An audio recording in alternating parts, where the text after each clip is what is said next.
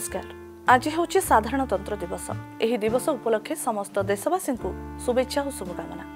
ଏହି ରାଷ୍ଟ୍ରୀୟ ପର୍ବକୁ ପିଲାଠୁ ନେଇ ବୃଦ୍ଧ ସମସ୍ତେ ପାଳନ କରିଥାନ୍ତି।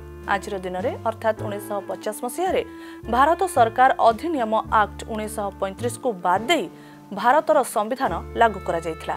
ଆପଣ ଜାଣିଲେ ଆଶ୍ଚର୍ଯ୍ୟ ହେବେ ଛବିଶ ଜାନୁଆରୀରେ ପାଳନ କରାଯାଉଥିବା ଗଣତନ୍ତ୍ର ଦିବସକୁ ପ୍ରଥମେ ସ୍ୱତନ୍ତ୍ରତା ଦିବସ ଭାବରେ ପାଳନ କରାଯାଉଥିଲା। ତେବେ ଏହା ପଛରେ କ'ଣ ରହିଛି କାରଣ ଆସନ୍ତୁ ନଜର ପକାଇବା। ଇଂରେଜମାନେ ଦୁଇଶହରୁ ମଧ୍ୟ ଅଧିକ ବର୍ଷ ଯାଏ ଆମ ଦେଶକୁ ଶାସନ କରିଥିଲେ। ନିଜ ଦେଶ ମାଟି ଓ ମାଆକୁ ବିଦେଶୀ କବଳରୁ ମୁକୁଳେଇବା ପାଇଁ ଏହି ମାଟିରେ ଜନ୍ମ ହେଲେ ଅନେକ ବୀର ସଂଗ୍ରାମୀ ଯେଉଁମାନେ ଦେଶକୁ ଇଂରେଜ ଶାସନରୁ ସମ୍ପୂର୍ଣ୍ଣ ମୁକ୍ତ କରିବାରେ ସଫଳ ହୋଇଥିଲେ। ଅନେକ ସଂଗ୍ରାମ ପରେ ପରିଶେଷରେ ଇଂରେଜ ଆମ ଦେଶ ଛାଡ଼ିଯିବା ପାଇଁ ବାଧ୍ୟ ହୋଇଥିଲେ। ଉଣେଇଶହ ସତଚାଳିଶ ମସିହା ଅଗଷ୍ଟ ମାସ ପନ୍ଦର ତାରିଖରେ ଭାରତ ସ୍ୱାଧୀନ ହୋଇଥିଲା। କିନ୍ତୁ ଏହା ପୂର୍ବରୁ ଉଣେଇଶହ ତିରିଶ ମସିହା ଜାନୁଆରୀ ଛବିଶ ତାରିଖରେ ଦେଶର ପ୍ରଥମ ପ୍ରଧାନମନ୍ତ୍ରୀ ଜବାହରଲାଲ ନେହେରୁଙ୍କ ନେତୃତ୍ୱରେ ଇଣ୍ଡିଆନ ନ୍ୟାସନାଲ କଂଗ୍ରେସ ଇଂରେଜ ଶାସନ ଖିଲାଫରେ ପୂର୍ଣ୍ଣ ସ୍ୱରାଜର ଘୋଷଣା କରିଥିଲେ।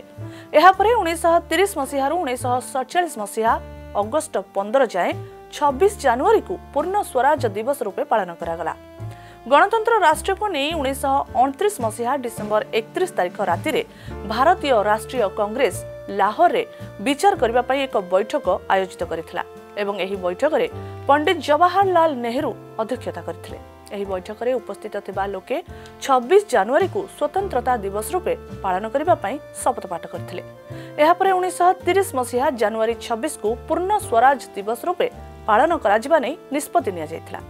ଭାରତର ସମ୍ବିଧାନ ରଚିବା ପାଇଁ ଅଣ୍ଟା ଭିଡ଼ିଥିଲେ ବାବା ସାହେବ ଆମ୍ବେଦକର। ଆଉ ଏଥିପାଇଁ ଲାଗିଥିଲା ଦୁଇ ବର୍ଷ ଏଗାର ମାସ ଓ ଅଠର ଦିନ। ବ୍ରିଟିଶ ସାମ୍ବିଧାନିକ ବ୍ୟବସ୍ଥାର ଅପସରଣ ହୁଏ ଏବଂ ପ୍ରଣୀତ ହୁଏ ଆମ ସମ୍ବିଧାନ। ଛବିଶ ଜାନୁଆରୀ ଉଣେଇଶହ ପଚାଶରେ ଭାରତ ସମ୍ପୂର୍ଣ୍ଣ ଗଣରାଜ୍ୟ ଭାବେ ପରିଗଣିତ ହେଲା। ସମ୍ବିଧାନ ଉଣେଇଶହ ଅଣଚାଶ ମସିହା ଛବିଶ ନଭେମ୍ବର ସୁଦ୍ଧା ସମ୍ପୂର୍ଣ୍ଣ ତିଆରି ହୋଇସାରିଥିଲା। କିନ୍ତୁ ଦୁଇ ମାସ ଅପେକ୍ଷା କରିବାକୁ ପଡ଼ିଥିଲା ଅର୍ଥାତ୍ ଏହାକୁ ଛବିଶ ଜାନୁଆରୀ ଉଣେଇଶହ ପଚାଶରେ ଲାଗୁ କରାଗଲା। ଦେଶର ସମ୍ବିଧାନକୁ ଦୁଇ ବର୍ଷ ଏଗାର ମାସ ଓ ସତର ଦିନ ମଧ୍ୟରେ ତିଆରି କରାଯାଇଥିଲା। ଏହାପରେ ଦେଶର ପ୍ରଥମ ରାଷ୍ଟ୍ରପତି ଡକ୍ଟର ରାଜେନ୍ଦ୍ର ପ୍ରସାଦ ଜାନୁଆରୀ ଛବିଶକୁ ଗଣତନ୍ତ୍ର ଦିବସ ରୂପେ ପାଳନ କରିବା ପାଇଁ ଘୋଷଣା କରିଥିଲେ। ସେହିଦିନଠାରୁ ଜାନୁଆରୀ ଛବିଶକୁ ଗଣତନ୍ତ୍ର ଦିବସ ରୂପେ ପାଳନ କରାଯାଉଛି। ରହୁଛି ନମସ୍କାର।